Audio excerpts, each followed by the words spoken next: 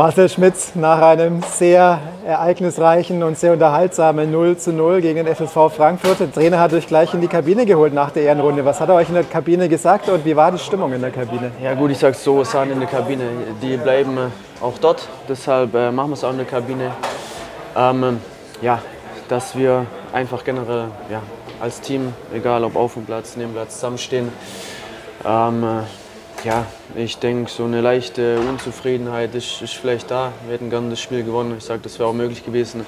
Klar hatte der Gegner am Ende auch vielleicht die ein oder andere Chance, dass wir vielleicht einen Ticken besser verteidigen können, müssen.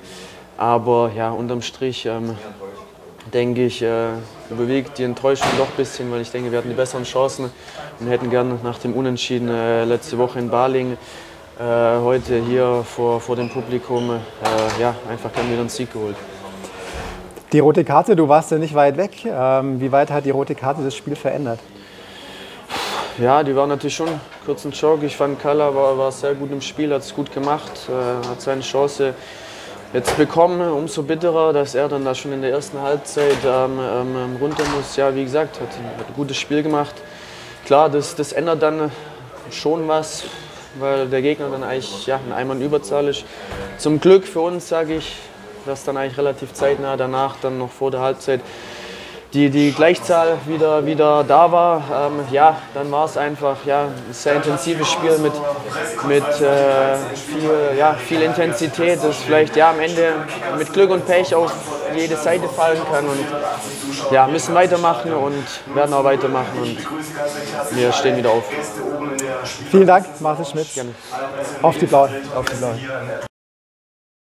Damit herzlich willkommen zur Pressekonferenz nach dem 13. Spieltag in der Regionalliga Südwest zwischen den Stuttgarter Kickers und dem FSV Frankfurt. Endstand vor 4.480 Zuschauern hier im Gazi-Stadion 0 zu 0. Ich begrüße ganz recht herzlich alle Gäste oben in der Spielbank Business Lounge, alle Presse- und Medienvertreter und Gäste hier im Pressebereich und natürlich ganz recht herzlich beide Trainer, Gästecoach Tim Görner und Kickers-Trainer Mustafa Ünal.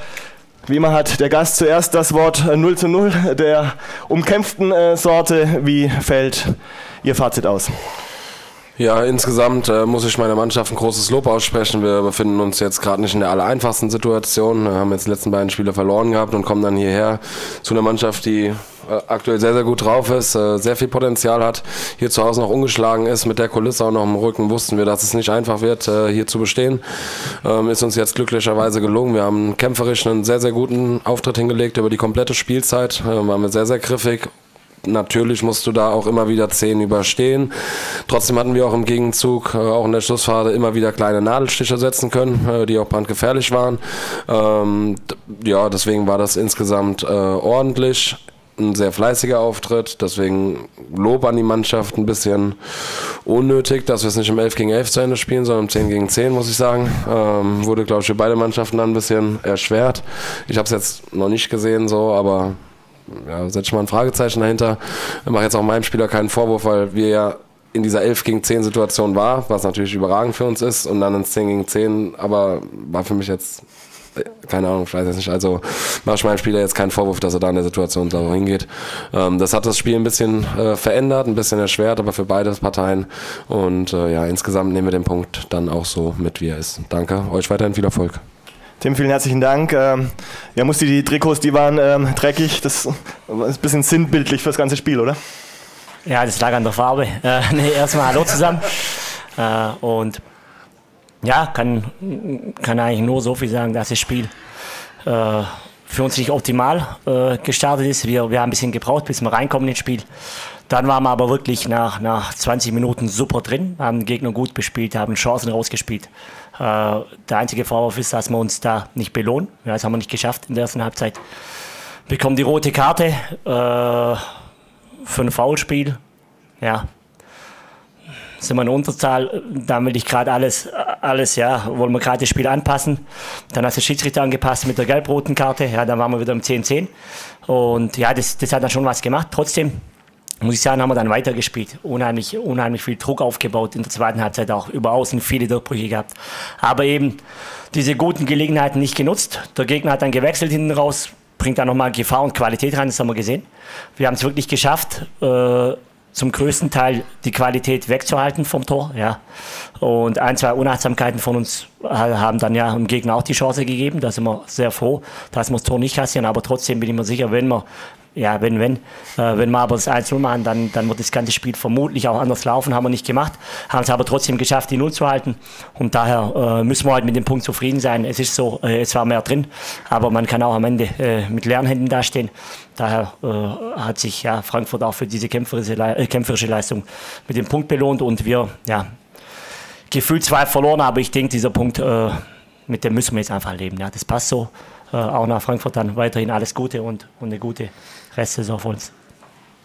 Ich schaue in die Runde, gibt es Fragen? Klaus Hendrich für die Bild. Ja, Herr Ünal, wie sehr hat Ihnen Kalajdzic gefehlt? Es wäre ja heute sein Spiel, sein erstes Spiel gewesen, wo er in der Startformation war, in einem Ligaspiel. Wie sehr hat er Ihnen gefehlt? Ich meine, er war ja da, äh, hat am Anfang gespielt, hat es gut gemacht, hatte, ist immer wieder gut durchgebrochen und dann kriegt er die rote Karte. Ja, äh, wir haben aber ganz viele Spieler, die dann trotzdem Tore schießen können. Also bisher haben wir auch, äh, hat, hat Kalaitic auch nicht jede Woche alle Tore gemacht. Daher, äh, natürlich fehlt immer, jeder Spieler fehlt, Breik fehlt gerade auch. Jeder Spieler, der nicht zur Verfügung steht, fehlt uns. Und daher ist es ärgerlich für ihn, weil er wirklich super im Spiel drin war, muss ich sagen. Äh, war sehr präsent, sehr gut unterwegs. Und dann, ja, zieht man ihm da, oder zieht er sich den Stecker, das weiß ich nicht. Ich kann es jetzt auch nicht genau bewerten. Ähm, harte rote Karte, mir tut es leid für ihn am meisten. Ja, äh, aber geht weiter, gehört dazu. Für euch geht es dann kommenden Samstag mit dem Heimspiel gegen Aalen weiter. Dafür viel Erfolg, natürlich auch eine, eine gute Heimreise ähm, heute.